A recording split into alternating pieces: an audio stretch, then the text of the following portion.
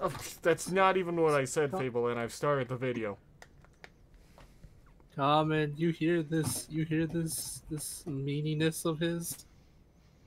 Why do So I? mean. Why are we here? Just to suffer.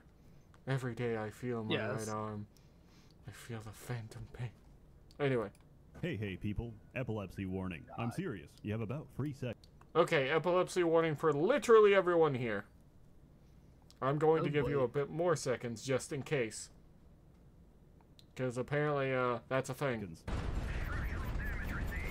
How dare you be Sweden, you son of a boy! Now How dare you be the epile- Sweden? How dare you be Sweden? He said, "I'm gonna be Sweden, aka neutral."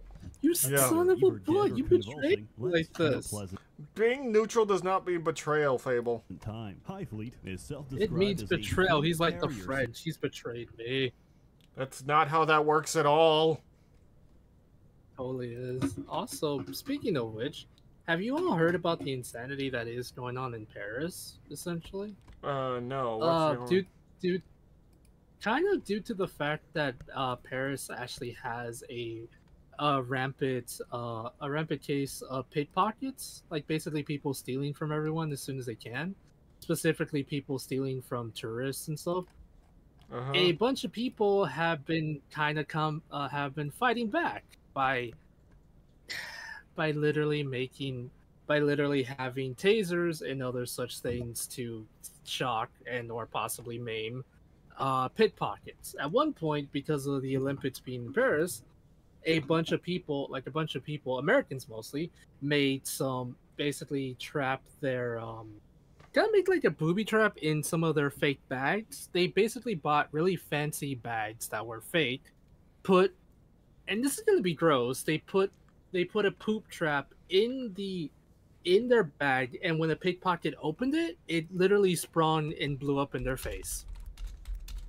I'm not even kidding because because the police refuse to do anything about the problem. Americans are taking it into their own hands, and people are literally getting hurt because of it to be honest, it's bad people who are literally stealing from others, so it's not. So it's kind of justified at that point. Yeah, when people uh are uh when people see nothing's being done, they'll usually do something about it themselves, which could end up to be make things worse. But anyway, Onto the video.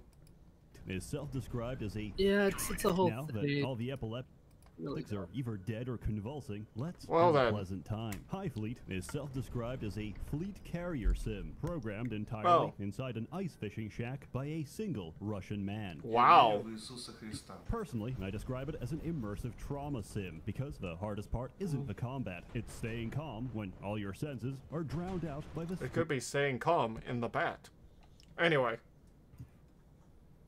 Stream of gunfire. The game takes place on the fictional desert planet of Kazakhstan. After a What? messy political revolution, rebel forces have taken over. You play as Grand Duke Mark Sayati Solemsky, who That is a long name. Russian Emperor himself, Vladimir Vladimirovich Putin, to restore order. Unfortunately, our forces to the south got glassed by thermonuclear warheads. So Oh. you could say it's not going too well. Our last-ditch effort is to push north towards the rebel-controlled city of Khiva. Our objective, a plutonium reactor the size of a city, responsible Okay. for the vast majority of power generation across the planet. The hope is, once we capture it, the enemy will have to surrender, or at least negotiate a truce. However, you're vastly outnumbered, outgunned, and flat out broke. Ooh. First, let's get to the controls. Your word of the day, skeuomorphism. Every What does that part of the UI looks like the real-world equivalent of what it's meant to represent. On Oh. the map, you're looking top-down from the cockpit, which is crammed with whatever communications devices you've got installed. This may look overwhelming, but compared to an actual Soviet cockpit, it's comparatively simple. Generally, if you make visual contact, it's already too late. The enemy has already spotted our chemtrail, so there's no point acting innocent, which is why we Oh. use all of this shit. At the top left, you've got your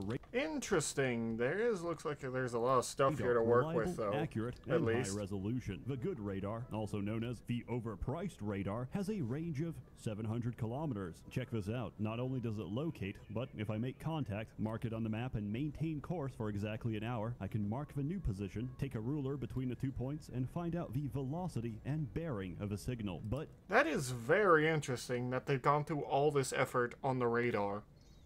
But then again, it is the overworld map for them. Basically. I have no idea what we're looking at, to be honest. Uh, we're looking at a radar of everything going on around him. Uh, their flying fleet, basically.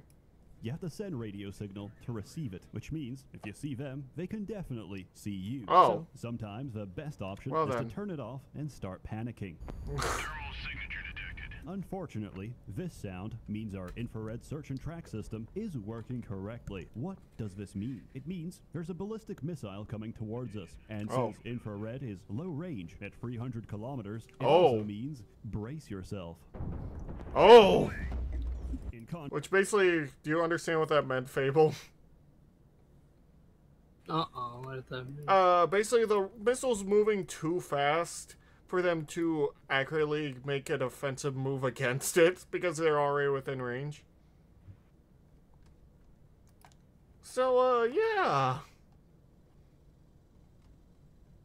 That Oh happened. my. Also, I need to show you this one video of a ra- of a Raven Guard at what? Not a Raven Guard. God damn it! What was it? It was uh, Blood Raven and uh, Necron. contrast, electronic intelligence, or ELINT, works off passive radar emission, so it's undetectable, long range, and looks like a fucking pretend phone for kids. Oh, it's one of those old like polar phones. look at it, see the flashing red light which says alert, danger close, and I look away, trying to guess whatever the hell that means. I kind of want to force Fable to play this just because he'll freak out and not know what he's doing and press random buttons. Oh my God, I already don't know what's going on. I'm already freaking out.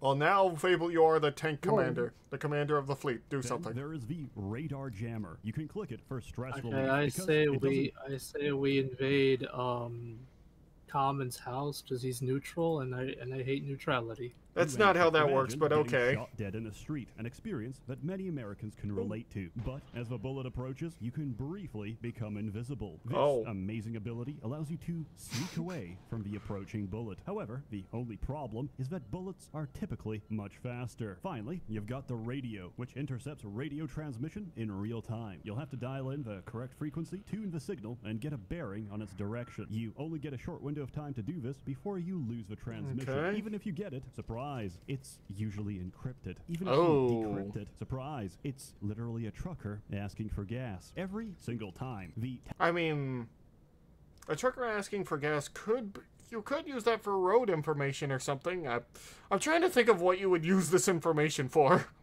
tactical knowledge of where every trucker stops to urinate is vital to the success of your campaign. Oh yeah, There's so just following roads basically, or right. at least knowing where roads are is obviously useful.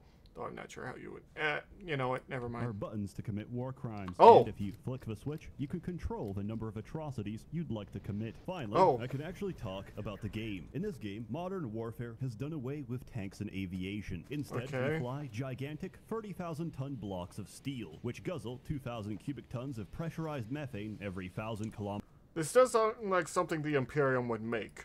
with a carbon emission rating between who cares and it's probably gonna get warmer. Every ship is unique. Well, if I and send a request, it's really. It just nearly made me cry. It's not spoilers. It just made me cry. All right, we'll get to it eventually. Vince, you. It, these things take time. I'm confused as to what this is even. You're, Krono, we're doing a reaction. Okay, well we're gonna have to wait till this ends. Uh, I don't understand what this freaking game is about. All I hear, all I hear is about war crimes, truckers, and, and Uh, something about gas. uh, basically,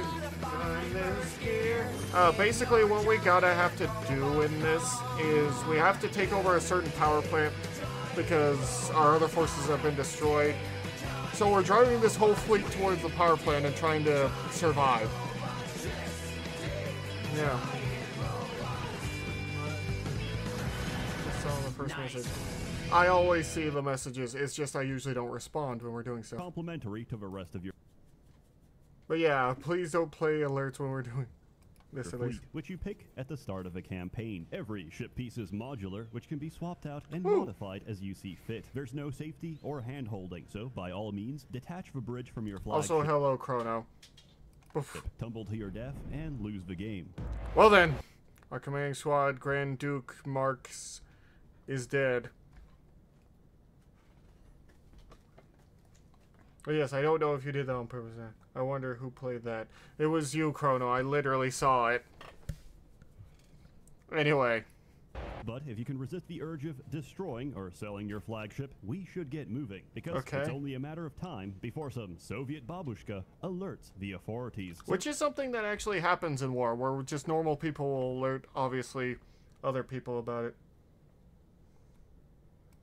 Start your engines and pick a destination. Whatever your choice, expect heavy resistance. To make matters more complicated, you can't just send your flagship because it's a fat, heavy piece of shit that tops out Oh. at 90 kilometers an hour. Why is this an issue? Because the enemy will spot us, raise the alarm, and send every strike fleet to our location. Pro That's, tip, uh, if you start hearing this not music, good.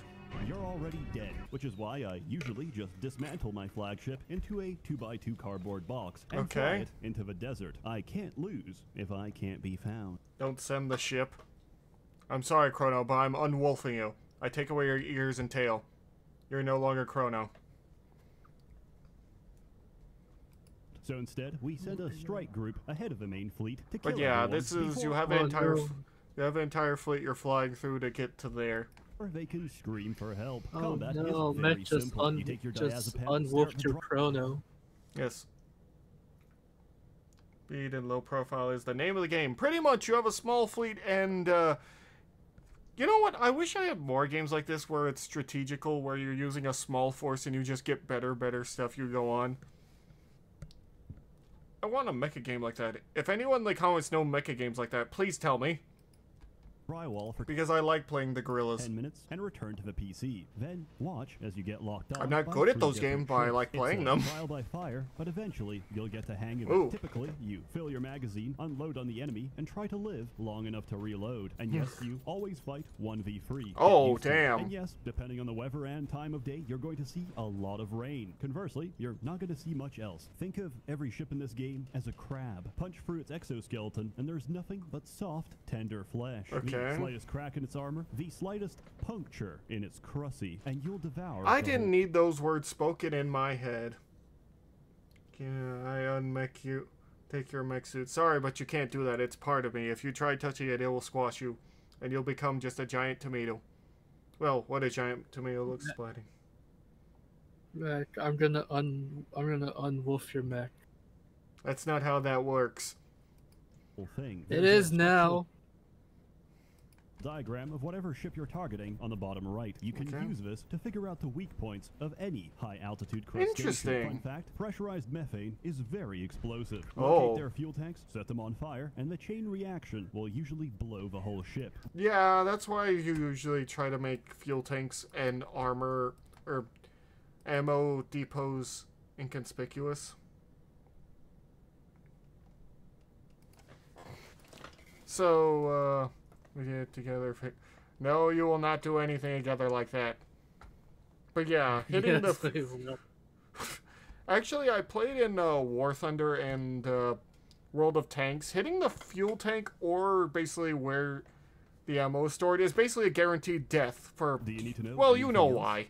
You know why. I shouldn't have to explain that to you why. No. Is there long-term health consequences? No, consequences you will not do that, flying Fable. a ship that knocks out the pilot each time I make Oh, a turn? yeah. Yeah, probably. But afterwards, Oh. there's a lot of burning debris and Knocks human out the pilot that you because have you're to going mop too up fast. Before we can properly land. You're on a limited timer, and you can't save everything or everyone because the game Oh, will automatically try he's to save crew scavenging. members trapped inside the debris. However, those aren't mine. I should know because I don't build evac pods on my ships. Oh, Think wow. about it. The Titanic would have never crashed if it had Alright, no life later, vessels. If Later. Go have fun.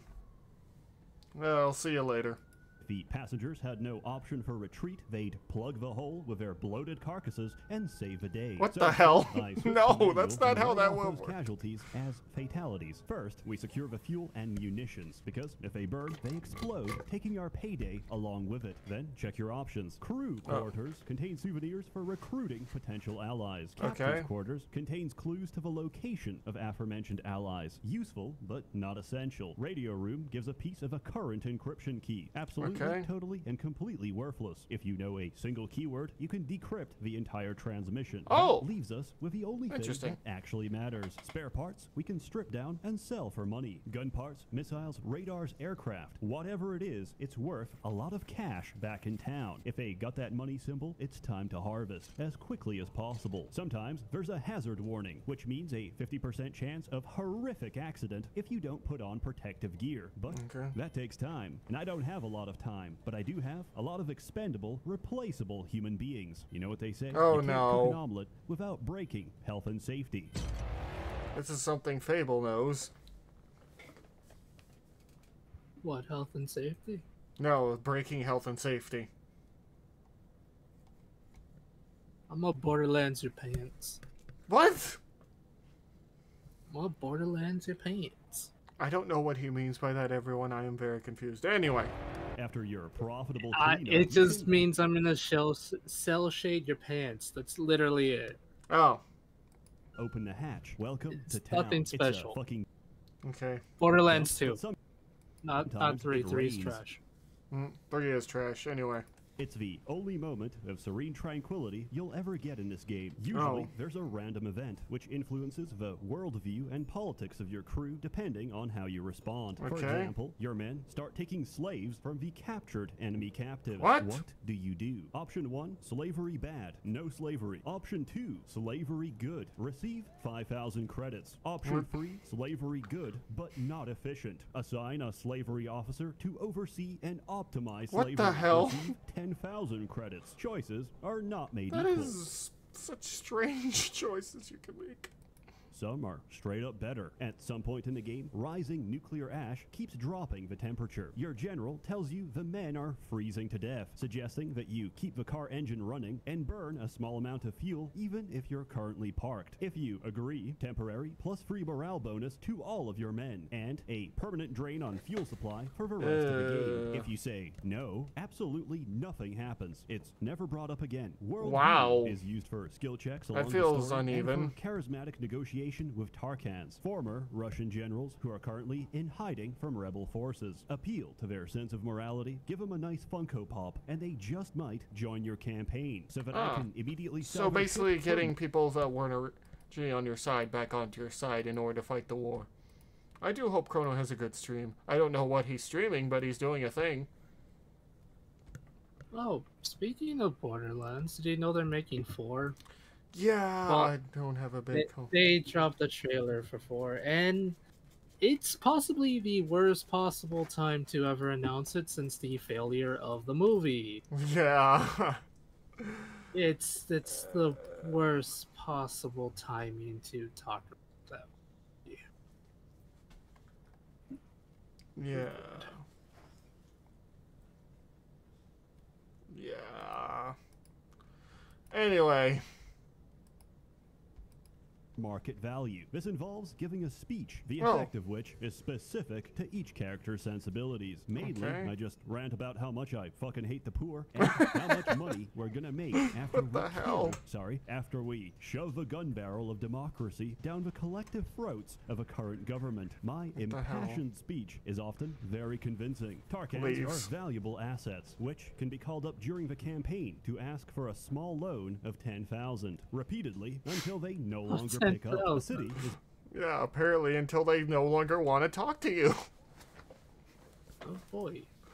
Effectively a gas station. We drop Mm-hmm. into the Gazprom depot to get scammed by shitty gas prices by some dude wearing a sack. Every gas station also comes equipped with a shipworks for ship installation Ah. and repair. You can do this undocked at low speed, but for serious repairs, you're gonna have to manually land the ship. Welcome to parking, the quickest and most frequent cause of a game over. Much like jumping down a flight of stairs without legs, do not attempt to do this without landing gear. And remember to park your flagship responsibly. Sometimes it'll count balancing off a cliff as a completely valid parking What? spot. You'll return to the town screen only to see your flagship tumble and crash into the abyss. Also, for some reason, after parking your ship, you can still control it. You might think it's a bug, but it's never been fixed, so I suspect it's working Why? as intended. Moving on, every gas station has an in-store self-checkout to legally Okay. purchase special munitions to be used against the same government that sold it to me. Compatibility depends on Sounds about right, caliber. For honestly. reference, the smallest caliber in this game is a 37 millimeter machine gun. This goes up to 180 millimeters, which is the Whoa. size of your average artillery. And there's no option for weapon groups, so typically we fire every single gun at the same time. Okay. As far as I care, there's only two types of ammo armor piercing and proximity fuse. The former for cutting up ships, and the latter for chopping up aircraft. The rest is a complete meme. Incendiary starts fires, which implies that 2,000 cubic tons of burning methane just wasn't enough. That and is a good point. guided lets you do this. Honestly, I really do like it, but when I remember that I'm effectively shooting money, my brow begins to sweat and I start to feel nauseous. Yeah, weapons like that cost a lot to make, which obviously costs them a lot to, you know, deal with. Oh dear. Oh dear, oh my, oh dear, oh die. Anyway, Besides that, there's a bunch of bombs, missiles, and rockets you can use to airstrike the enemy before they can even start their engines. Cool. With that out of the way, you should remember that any military campaign is largely financial. And yeah. beautiful phrase in the Russian language is Daiminatoyo Yengi пожалуйста». We Give are me gonna your money, intercept trade please. convoys, murder their escort, and capture the trade ships so we can hold them for ransom. That is Because something that we're the armies good would do. guys. God is with us on this campaign, and thus piracy is absolutely ethical, encouraged, and the best way of making money, hands down. Besides selling ballistic nuclear weapons on the Oh. open market. Speaking of ballistic nuclear weapons, why haven't we used them yet? Because, as your general puts ooh, nuclear weapons. Uh, knowing Sseth, I feel like I know how this is gonna end. Right. So, uh, let's go in and see where this is going. that once the genie's out of the bottle, it's never going back inside. But Well- I'm okay with that because I only have one wish to make. I Oh. wish for a nuclear winter. Oh my god.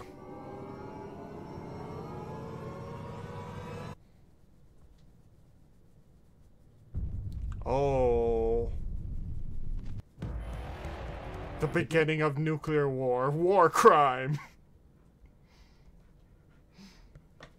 Well, let's see. One is a tragedy, but the death of millions is a good start. Oh, However, dear in retrospect, this wasn't the best idea. You see, we didn't use them because we couldn't. We didn't use them because they have more than us. Oh. Considerably more. And right now, they're heading towards us. So, word of advice, they won't touch the button as long as you don't. This is basically a mutually assured destruction idea, and uh, how no one wants to use nukes. They're just deterrents to keep other people from using nukes. Oh dear. It's basically pointing guns at each other and saying, "We won't shoot if you don't," and that's how it works for the most part. It's terrifying. Yeah. Yeah, it is. That's why we don't talk about it. Funny enough, my grandmother was alive during the Cuban Missile Crisis, and she was just going to the store. No, wait, I think she was in high school. So she was just seeing uh, President Kennedy come on the screen. Onward we go. You can start the nuclear war, but they're going to finish it.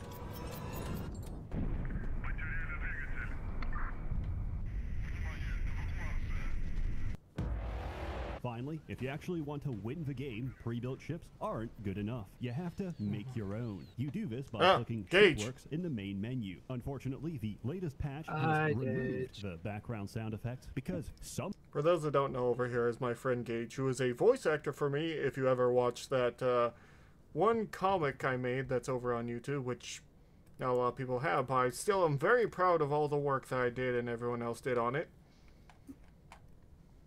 I'm happy to be a voice. A voice in the choir.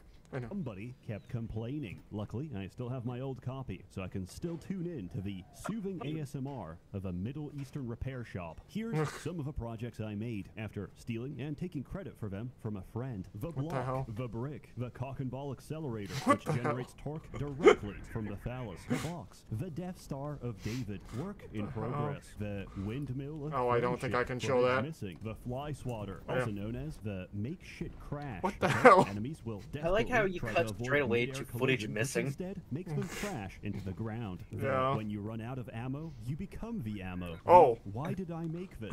What And many more. Eventually, I realized that armor plates are functionally no different to reinforced hull pieces, except Oh. they weigh three times as much. So Oh. I made this abomination. It can Oh. take out every strike fleet in the game back Oh, to back no. with no brakes. You can literally sit in the first town, wait until grandma calls the Gestapo, and watch as the entire rebel military explode in front of me. I love this game, which brings me to my main critique. There's not enough, and I want more. It's like a slice of cake Oh that I God. want, but I can't have, because I hmm. can't legally imprison the developer until he bakes the aforementioned cake. Unless I Unless I somehow invite him over, No, um, false Sseth. burn his passport, and cuff him to the work table. No. Hypothetically, of course. Also, if you're worried about epilepsy, just know that modern copies of a game have been sanitized for your delicate eyes. That's you can good. set your preference in the options menu. Oh, you can change all it. the seizure complaints. Oh, dear God. High is now just a bunch of fuzzy lines. But on release, Glitch High was the equivalent of burning out your cornea with a oh, radioactive God. lens flare. It was actually even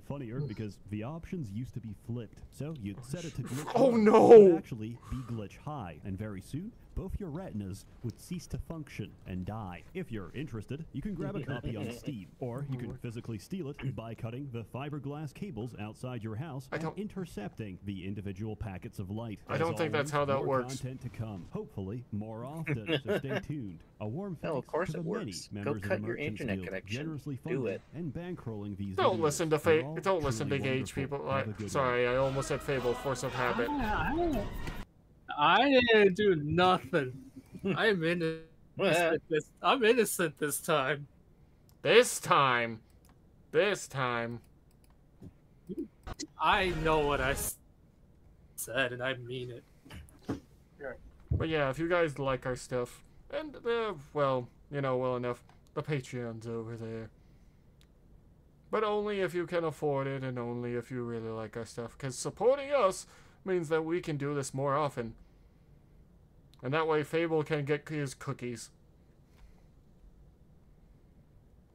I don't know what kind of cookies they are, but yeah, he'll get his cookies. I will say, I'm not sure if I'll a lot of these games obviously take a lot of time, and unfortunately now that I have a full time job, that that gets a lot harder. So yeah. Still, thank you all so much for watching this. If you like what we're doing here, please do consider following. Check out Fable stuff. He's uh funny enough, he's doing a w- level one Dark Souls playthrough of the original Dark Souls, so that's gonna be fun. I've been in somewhat of the videos. Is link- You've been the health bar. yes, I've been the, his health bar telling him what to do. Yeah, and you know the problem is I'm in the last two uh, lords, which is um, I still have uh, the Four Kings, Seath, and um, the Bed of Chaos, and I'm possibly going to do the DLC. And to those of you who know how Sartorius is, I'm going to be in pain. Yes, he already Not- not defeated. Sartorius. Sartorius. Who is Sartorius? What the hell? I don't know. You made up the name. I did.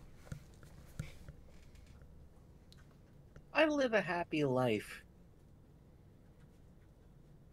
Okay. There's nothing else to that sentence. That's why I said okay. So, um, so yeah, I'm literally dealing. I'm going to be dealing with the DLC, and Artorias, Manus, and Telemede are some of the worst bosses in existence. For those, also for Worse those, in the, in the sense that they hurt. for those wondering why I muted the audio right there is because some of the audio has been, you know, getting copyrights. So I just wanted to be sure because I don't know. Other You than that, I would just cut this part of the video then. But I do like Sseth's stuff, even though Sseth is kind of crazy. I don't.